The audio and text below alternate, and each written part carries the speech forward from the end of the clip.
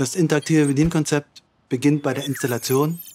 Die Installation wird geführt, Initialisierung und Settings werden bestätigt. Und darüber hinaus haben wir ein umfangreiches Management an Störungen und Warnungen.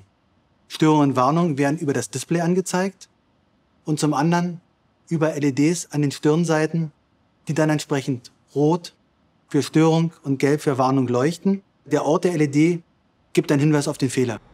Der Ausgangszustand wird quasi durch eine weiße Haupt-LED signalisiert. Diese weiße Haupt-LED, die sehen wir hier, ähm, die signalisiert Betriebsbereitschaft.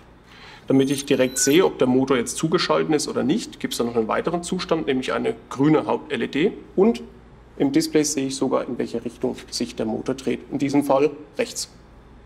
Das Gerät überwacht die ganze Zeit seine Peripherie und wir haben diverse Warnungen und Störungen, die wir detektieren können. Warnungen sind rein informativ, Störungen führen zur Abschaltung des Gerätes. Gesetzt im Fall, Ihr Netzteil ist fehlerhaft, die Haupt-LED ist gelb. Diese äh, Visualisierung deutet mir den Warnungszustand an. Und Sie sehen auch, dass das Gehäuse auch beleuchtet wird. In diesem Fall handelt es sich um eine Überspannung, die den Steuerstecker betrifft. Der sitzt hier oben, deswegen leuchtet es auch am oberen Ende des Gehäuses. Eine weitere Größe, die wir bei diesem Gerät beobachten, ist die Temperatur. Das heißt, wir messen an diversen Stellen im Gerät die maximale Temperatur. Und wenn hier kritische Werte überschritten werden, möchten wir den Kunden frühzeitig darauf hinweisen, damit er auch rechtzeitig Gegenmaßnahmen ergreifen kann. Und deswegen leuchtet sowohl oben als auch unten, weil das ganze Gerät betroffen ist.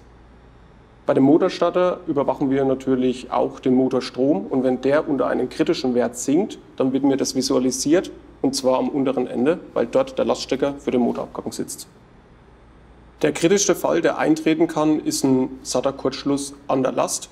Ähm, hier spielt das Gerät seine Stärken aus. Wir schalten in acht Mikrosekunden den Kurzschluss sicher ab. Das würde sich am Gerät dann folgendermaßen bemerkbar machen. Wir sehen, dass jetzt die Haupt-LED rot leuchtet und auf dem Display bekomme ich die dezidierte ähm, Fehlerbeschreibung, dargestellt als Short Circuit. Wenn ich jetzt diesen Haupttaster betätige, dann bekomme ich sogar noch eine detaillierte Anleitung, wie ich diese Störung beheben kann. Die vorgeschlagene Abhilfemaßnahme ist Check Motor Cable. Wenn der Kunde diesen Schaden behoben hat, kann durch ein weiteres zweisekündiges Drücken des Haupttasters die Quittierung erfolgen und der Betrieb kann fortgesetzt werden. Mit Hilfe eines USB-Kabels kann das C14-Gerät mit dem Laptop verbunden werden und jetzt können diverse Einstellungen vorgenommen werden. Mit Hilfe der Export- und Importfunktion können Konfigurationen gespeichert und auf andere Geräte aufgespielt werden.